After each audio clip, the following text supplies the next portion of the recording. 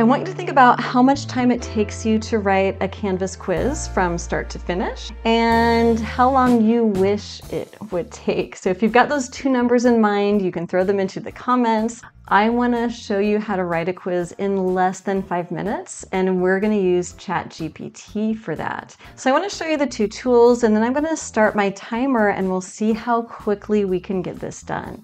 The first tool that I want to show you, there are actually several of these to choose from. It is a text to Canvas quiz converter. You can tell that I have already asked Google to find this for me. There are several that are created by different universities. All of these are open source, and most of them are great. My favorite one happens to be this one from the New York Institute of Technology. I really like it because it gives you a text box so you can make changes here as opposed to a file that you upload, but the files are great as well. The other thing that I need to open, my second tool is going to be ChatGPT. So we know that ChatGPT does a lot of amazing things. We want it to write um, a quiz that I can convert to Canvas.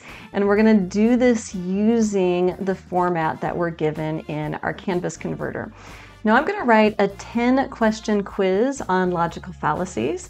I want five that are multiple choice and five that are multiple answer where they choose all of the answers that apply. Um, so that means I'm going to be using these two different formats right here. I think I'm ready to start that clock. So here we go. The very first thing that I want to do is to do, let's do multiple choice questions first. I like to do these separately.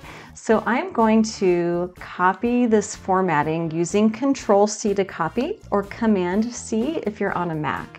So I've got that copied. I'm going to go to ChatGPT. I'm not going to paste it yet. I want to ask it to create my quiz. So create a five question multiple choice quiz on logical fallacies using the format below. I also know that I don't want it to use indents, and I know that from lots of trial and error. Okay, and don't use indents. To paste that formatting below, I'm going to do a shift followed by return and then control V to enter. And I'm ready to input that prompt. Okay, so here it comes and it actually looks really good. If it doesn't look like what you want, you might have to ask it again to make some changes. But I think I'm ready to copy this information. I'm not gonna want the wording up at the top, so I'm gonna remember that. But otherwise, let's hit copy and go back to the exam converter. And then scrolling down, I'll give this a title, and this is my fallacy quiz. Points per question is one and I'm gonna paste my formatted exam, Control V. Okay, now remember it had some stuff up on the top that I didn't want, so let's highlight that and get rid of it. I also don't want this space here at the top. And then one more warning, you should check. ChatGPT does a pretty good job, but it's only as smart as the internet, and it will make some mistakes here. So check through these, make sure they're what you want, and then click check for syntax errors. Now I didn't have any, so I'm ready to do my multiple answer section. We're gonna add five more questions. Let me go and grab the multiple answer format. Here it is. I'm gonna highlight it to copy, so control copy. Back to ChatGPT, I'm gonna say add five more questions. And I know just from experience that it's gonna start numbering them at number one. So I'm gonna say numbered six through 10.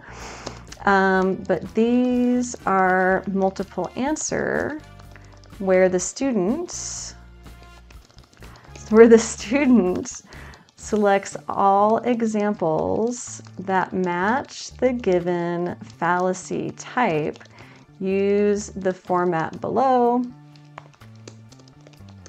don't use indents. Okay, shift return and then control V and let's go ahead and give it this input. And it looks really good. It does have some um, italics there. So I'm gonna say rewrite without italics. I don't know if it will actually listen to me or not, but we'll try. So it's asking me which response I prefer. I'm just gonna prefer the first one. I don't know, and I'm gonna hit copy. And let's see what it looks like in our exam converter.